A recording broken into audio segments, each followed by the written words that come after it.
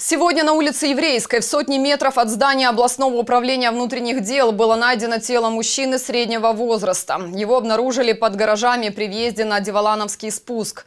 Местные жители утверждают, что спасатели и скорая просто отказались поднимать тело. А равнодушие, от которого порой становится не по себе, смотрите далее в сюжете.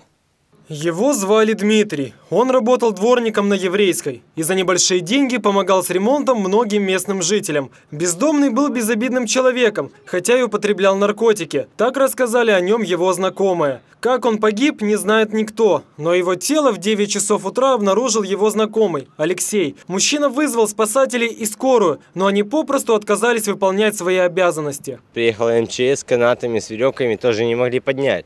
Почему мне дали, мне дали резиновые перчатки, обыкновенные, медицинские.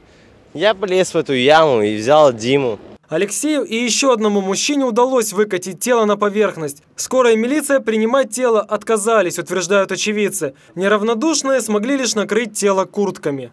Часов 9-10 вечера, до утра. И сейчас сколько время? Ну, 5, ну 4 вечера. Так 5. подожди, с тех пор он просто лежит и накрыт крут, курткой. А что, он должен так, как собака, вот лежать тело? Посмотри на тело, это вечер.